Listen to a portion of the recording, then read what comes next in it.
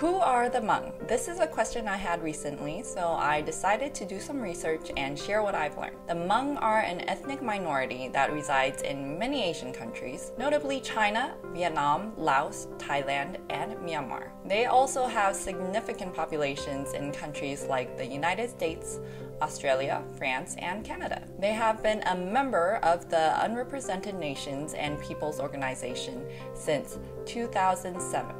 Their flag is red with a yellow six pointed star above a yellow sun in the center and four yellow figures in the four corners. I found variations of their flag design online, and if you know the difference between these different flags, please educate me and leave a comment below. Archaeological findings place the Hmong people around the Yellow and Yangtze rivers as far back as 5000 BCE. Historically, the Hmong have been industrious farmers and among the first people to cultivate rice.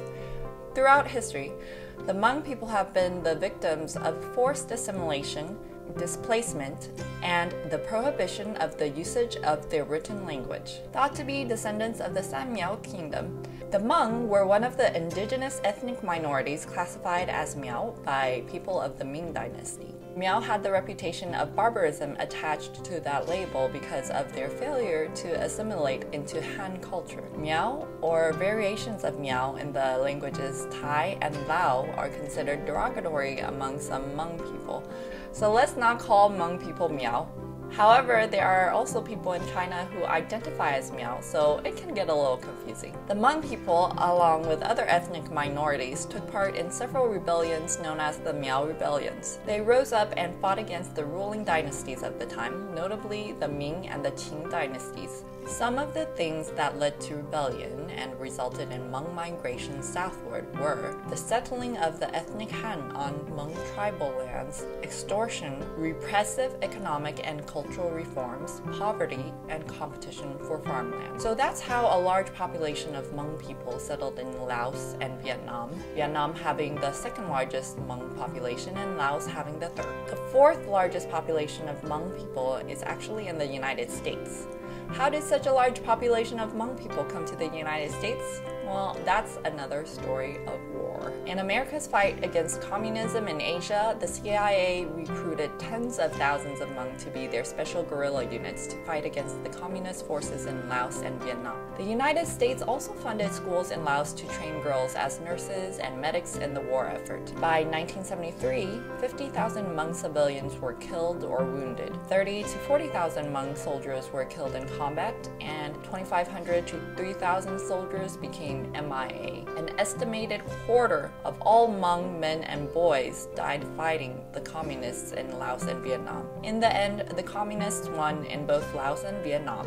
The US troops pulled out, and 120,000 Hmong people became refugees, many migrating to NGO run refugee camps in Thailand and ultimately resettling in the United States and other countries. In the US, the initial refugees were placed with religious charities that were willing to sponsor families, and once the US Refugee Act of 1980 was enacted, lifting the annual cap of refugees accepted into the United States from 17,400 to 50,000. Even more Hmong refugees were able to relocate to the United States, with the largest communities of Hmong people residing in California and Minnesota. Some interesting facts about Hmong culture. Upon dying, a person's soul must return to where that person was born, and only then can they continue to travel into the afterlife to meet their ancestors. Traditionally, Hmong people people perform rituals during the funeral ceremony to ensure safe passage for the soul, and only then do they bury the body. Nowadays, funerals generally begin on a Friday morning and continues day and night until the next Monday night. It is said that ancient Hmong writing has been preserved through the paj ntaub,